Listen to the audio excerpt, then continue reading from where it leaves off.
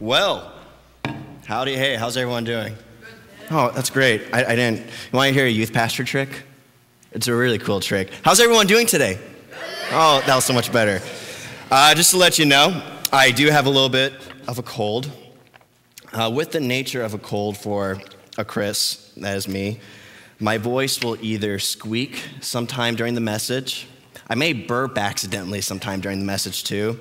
For some reason, that's just that's what my body does. I, I can't explain it. That's how God knitted me together. But whenever I have a cold, that happens. Or every now and then, my voice just might stop like that. It might stop working. But anyways, welcome to Youth Sunday. I love my church. Notice my shirt. I love my church for a lot of reasons because we intentionally and consistently take one Sunday uh, every few so months and we celebrate the gifts and the talents that God has given to our young people. Talk about empowerment. And, and today, we as a church, we, we get to hear message and, and talk about how we as a church are to function. And so when, when I think about Youth Sunday and the consistency that we do, man, that, that's just so cool. especially as a youth pastor, one that's empowering for me and that's empowering for our students. It, just tells me a lot that we as a local body know how to function. And so for that, I want to say, you know, thank you. Thank you so much. Well, here's a fun fact about me. A lot of you may not realize this about me, but I have two hands a right hand and a left hand. Uh, one arm has tattoos and the other arm doesn't. One arm has a wedding band, and the other doesn't. I know it's a shocker for a lot of you that you see me up here with two hands. Now, of my two hands, I am dominantly right handed. So I write with my right handed, I shoot with my right hand, I play drums with my right hand. I do a lot of things with my right hand. The point is, I need my right hand. If I didn't have it, I wouldn't be able to function very well. I remember one time when I was in middle school, my buddy Andy and I, we were at this youth retreat, and like any middle school pew peasant boy, we had this great idea on how to impress some girls. And so we thought, let's play tag.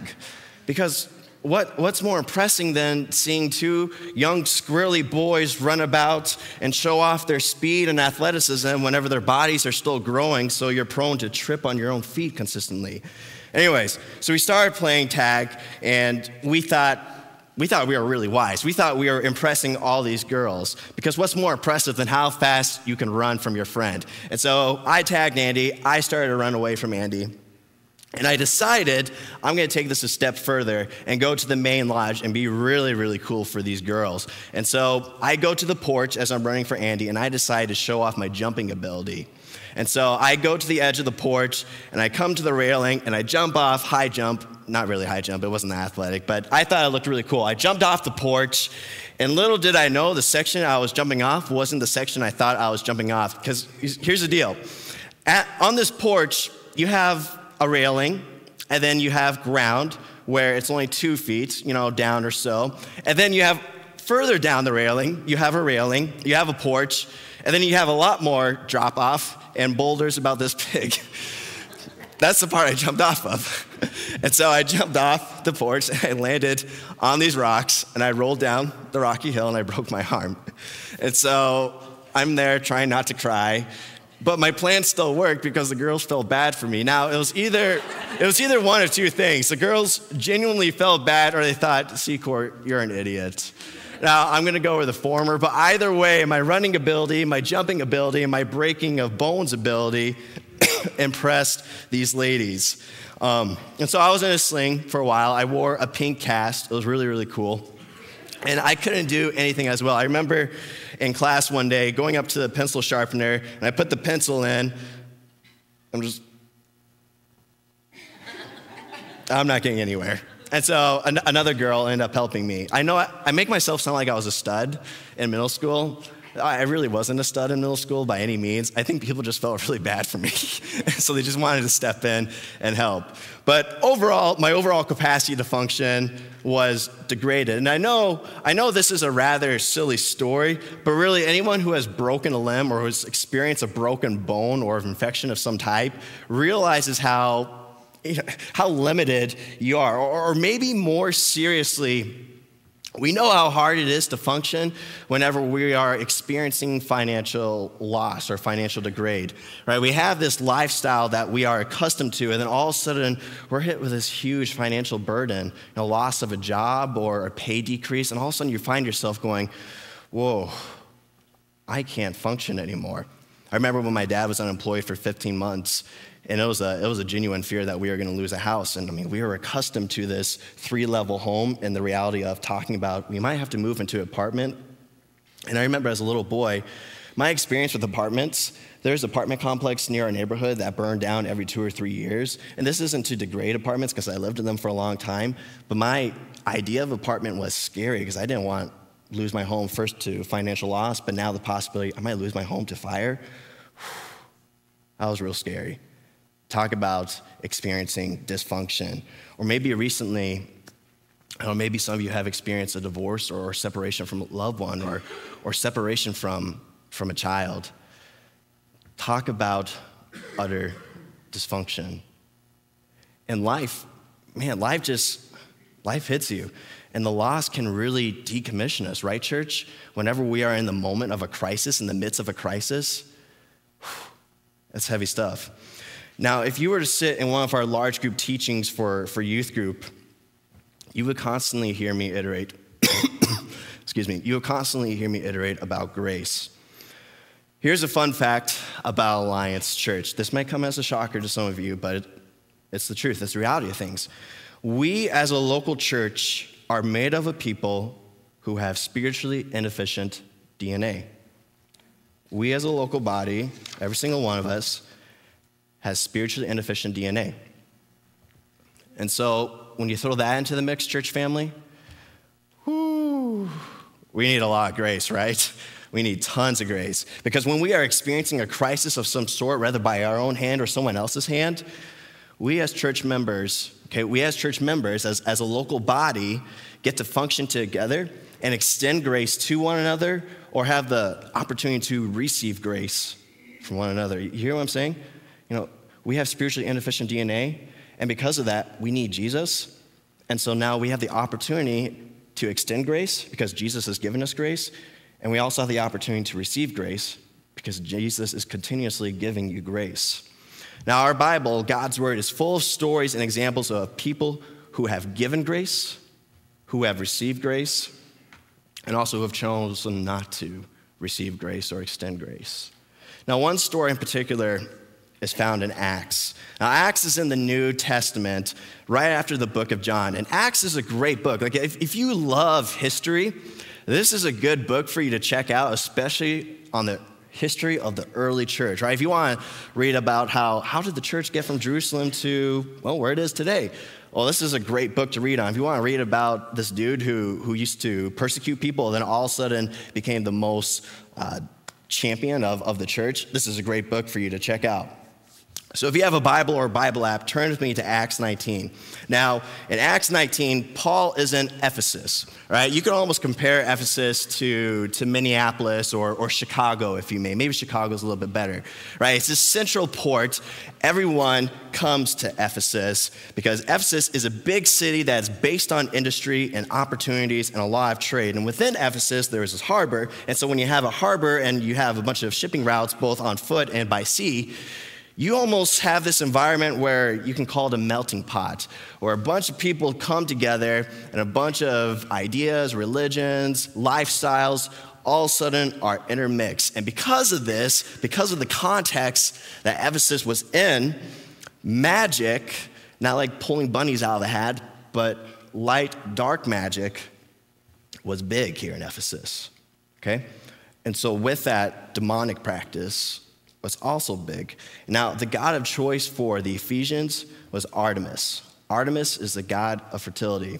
And so we read in Acts 19 some of the problems that this local church and just just the context in general that, that Paul and other people and other Christ followers encountered. This is from Acts 19 16. All right, so then the man with the evil spirit leaped on them, overpowered them, and attacked them with such violence that they fled from the house naked and battered.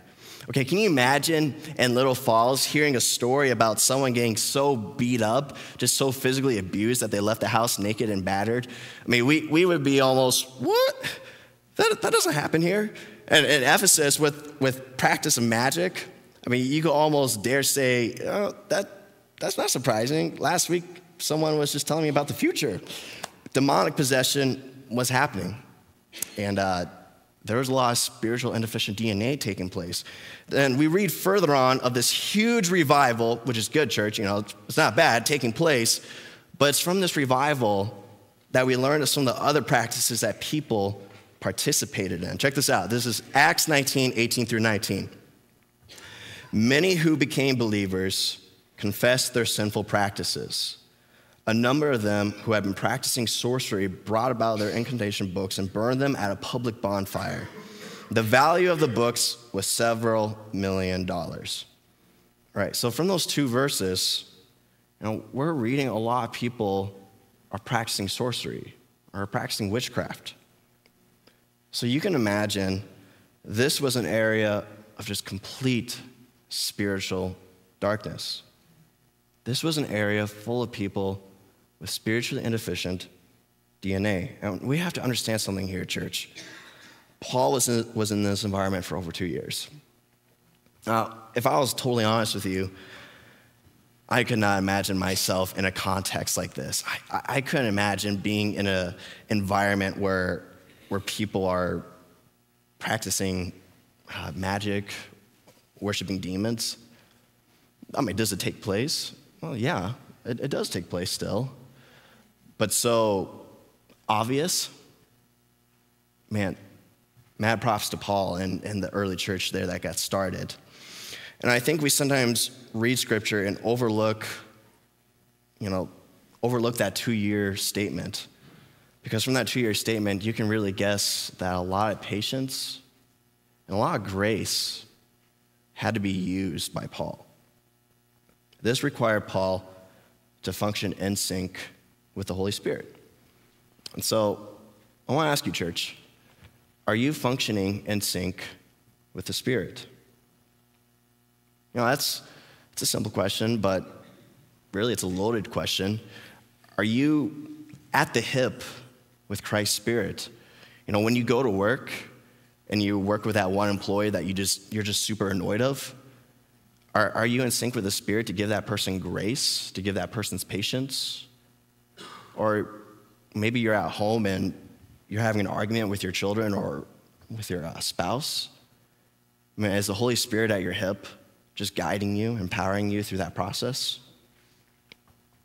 During Paul's time here, people are beginning to turn from their sins and become Christ followers, which is awesome. And we read that people burn magic books. I mean, that's that's pretty insane. That's pretty intense. So, you know, they stopped practicing witchcraft. People were healed from the diseases and people were free from demonic possession.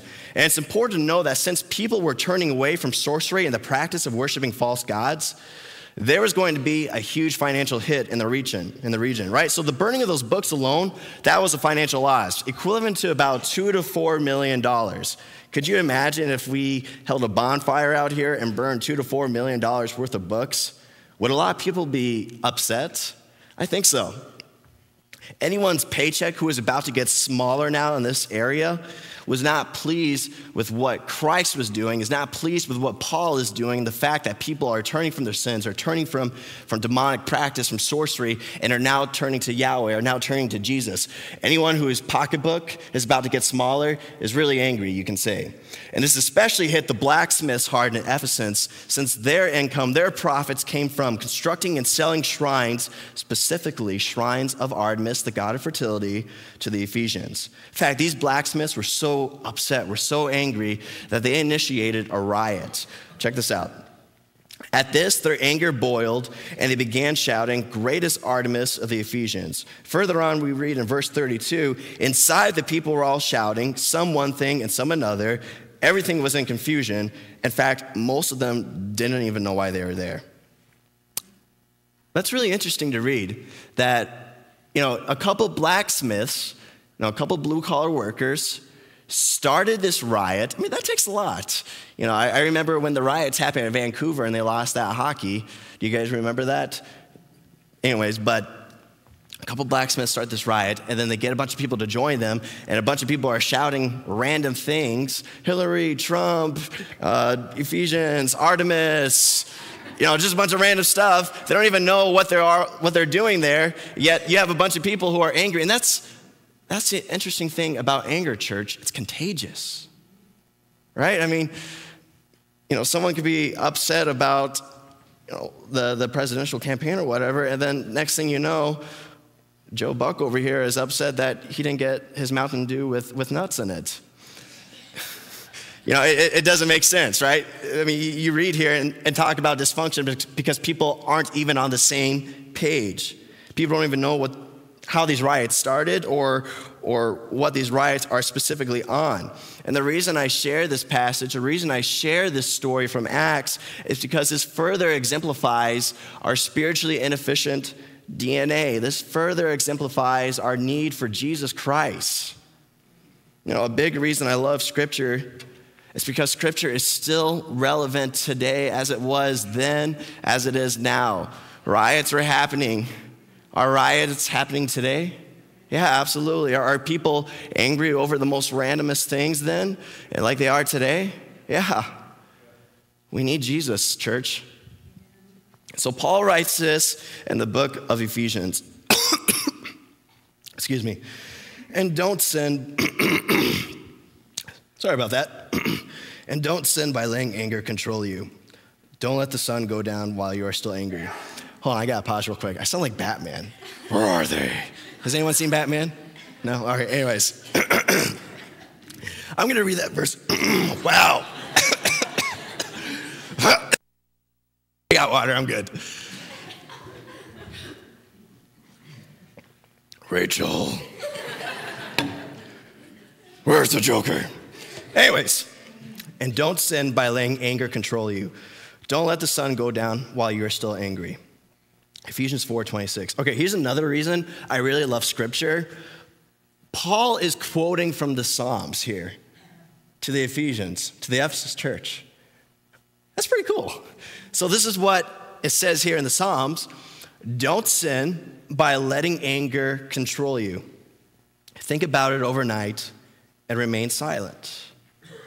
That's some pretty practical advice, church. Like, even if you are not a Christ follower, even if you are still going, yeah, scripture's not relevant, man, I really challenge you because regardless of where you are in, in terms of the cross, you know, don't sin by letting anger control you. Okay, well, don't do anything stupid by letting anger control you. Think about what you're going to do overnight and just, just be quiet. That's pretty good advice still. You see, uh, oh, sorry. And it's after Paul quotes the Psalms in Ephesians that he says this If you are a thief, quit stealing. Instead, use your hands for good hard work then give generously to others in need. That's Ephesians 4 28. So you see, if the blacksmiths would have chosen to become Christ followers, they still could have made a profit by using their hands to build something that edifies, that celebrates the church. Instead, they chose to get angry, they start this riot, and they choose to follow a false God. And what they chose, though, ultimately there was consequences. Riots, you know, I mean, at the root of this riot, there's a lot of violence. Is it possible that maybe some of their shops got destroyed? It's possible. Is it possible Main Street of Ephesus was somewhat uh, defecated? It's possible. And, and what I love here, you know, what, what Paul is teaching about using our hands for good hard work and giving generously to others in need, what I love here Man, church, it just requires us to take a step back and just go, man, who am I to, to complain? Like, who am I to even question or be angry about this? You know, because at the end of the day, it's just about Jesus. I mean, we, we, we see, you know, like in Job, Job is questioning all these things. And then all of a sudden, this huge storm comes in, and God tells Job, Hey, who are you, man? You know, were you there when I created everything? Uh uh-uh. uh Were you there when I made the animals? Nope. So who are you to question? You know, church, you know, what, what, who are we to question? who are we to question God and what he wills and what he pleases? And what I see for application in regards to using our hands for good, hard work and giving generously to others, in regards to, to not sinning and not letting anger control us, I see three things of application for us. Are you ready? This is going to be a huge shocker for you because no one has ever heard this before. Like, this is profound. I'm, I'm going to write a book after this. I kid you not. All right, here are the three things pray on it, receive counsel, sleep on it. I know. You've never heard this before. But this complements so well what Paul is saying in using our hands to not steal, but to give. It requires us to be patient, it requires us to be teachable, it requires us to lean into Jesus. Right? When, when Christ called his followers, you know, he simply iterated, Follow me. Come follow me. Right? He, he, didn't, he didn't tell them to, you know, follow me and then you're going to do this and this and this, and I'm going to make you an entrepreneur. No, if anything, call, God calls us to follow him. He doesn't call for leaders, he calls for followers. You know, and as followers of Jesus, we need that patience. We need that grace. We need to be teachable. Because, church, there are so many people you know, who aren't teachable. And because they're not teachable, they miss out on what Holy Spirit has to give to them. They miss out on the opportunity of using the hands that God gave them to empower their communities, to make the name of Jesus famous, and to celebrate Jesus with these things that we call hands. And while you may not be practicing witchcraft or sorcery, you know, such as the, efficient, the Ephesians, you know, we all still have spiritually inefficient DNA. The application for functioning members is simple pray on it, receive counsel, and sleep on it. Now, I want to ask you, church, how many of you approach God right away when you have a problem or a crisis. You know, this morning, I woke up and my voice was just horsey. It was just, just raspy. And you know what the first thing I did? I went to my phone and I searched Google how to communicate with a raspy voice. and I, thought about this, and I thought about my hands, and were my hands giving generously to the church? Were my hands praising back to Jesus. You know, I'm not saying looking on Google is a bad thing, but my initial reaction wasn't to turn to Jesus. My reaction was to turn to Google. Talk about spiritually inefficient DNA. And I'm a pastor. but it just it blows my mind. The second question I want to ask how many of you seek counsel for someone who has a gift of discernment. I could think when I first got married, all right, fun fact. When I first got married, I was 19 years old, and my wife, Paige, was 20 years old. Okay, so I was a teenager. and when you get married as a teenager, you have a teenage mindset. Okay, so, you know, early morning, Saturday morning, you're still in your jammies watching the Power Rangers. I'm just kidding, that didn't really happen. But the point is, Paige is 20, I was 19. When you have a teenage mindset, when you have an early 20s mindset, you want to have fun. I mean, you want to go out and hang out with your friends late at night. And so I remember that first year or two of marriage, Paige and I would just argue all the time because we both had this, this early teenage or early 20 something mindset where we just wanted to hang out with friends. You know, something innocent, something not wrong but we are putting others before our own marriage.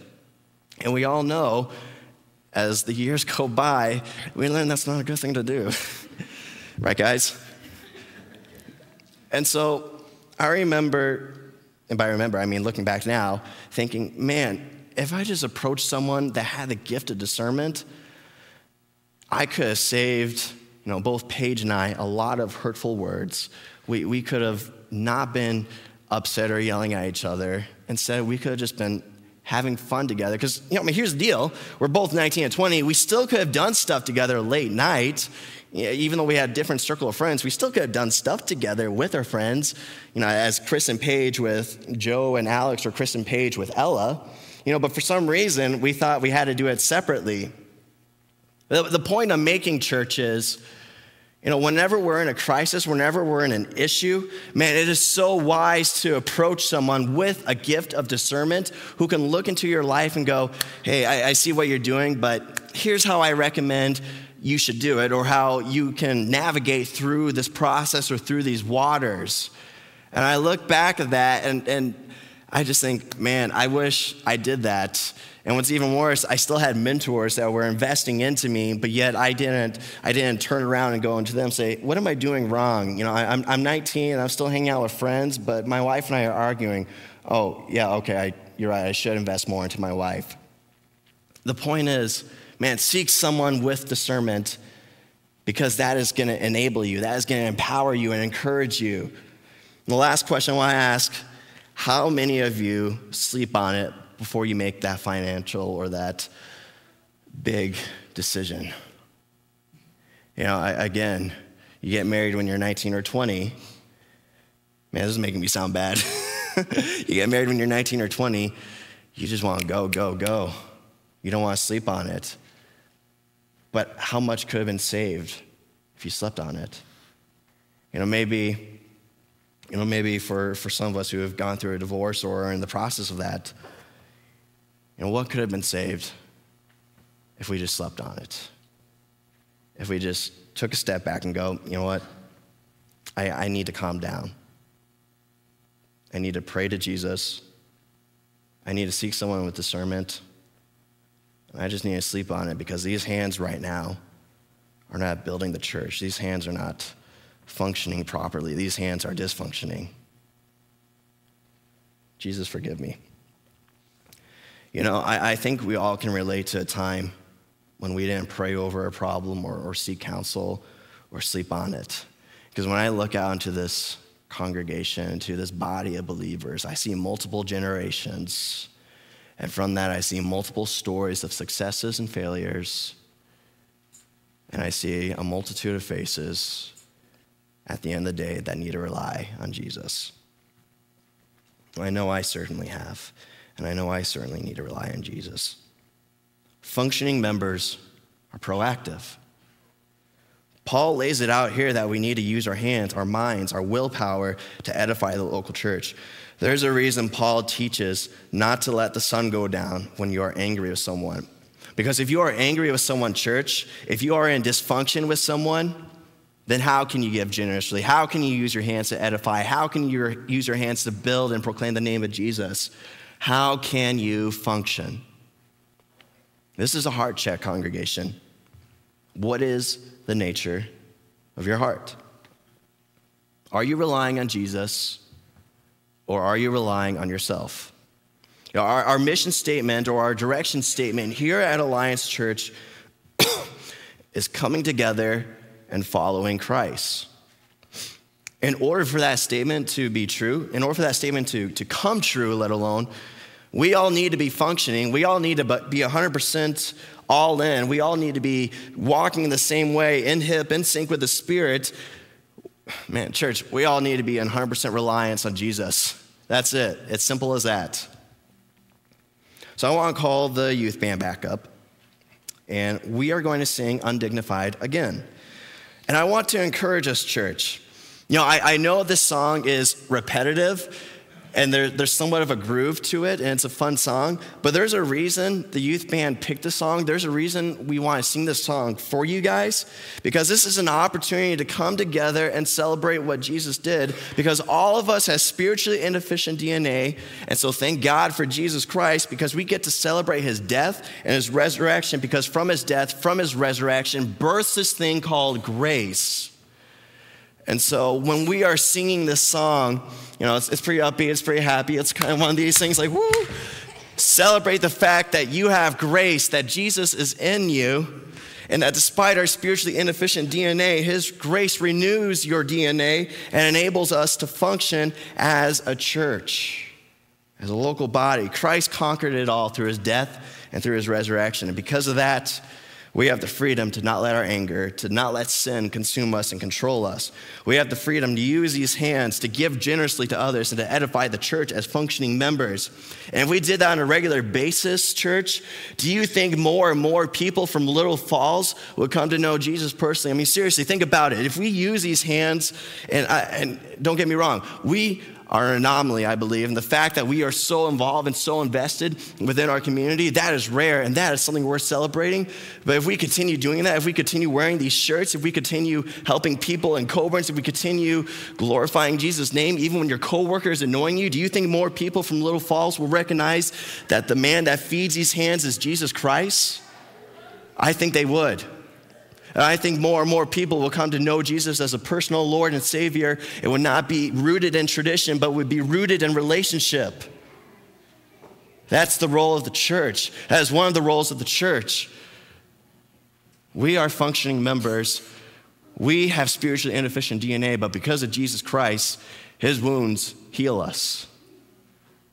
And that is a cause for celebration, church. Youth band, can you guys come up? Let's sing, church family.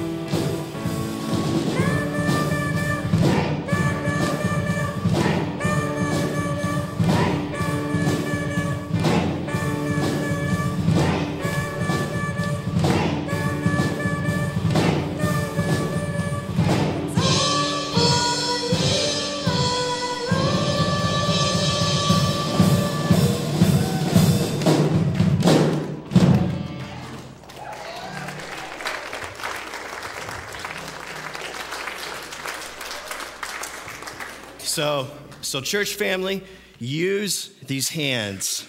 Build the church, build God's kingdom. Church family, you are dismissed. Thank you.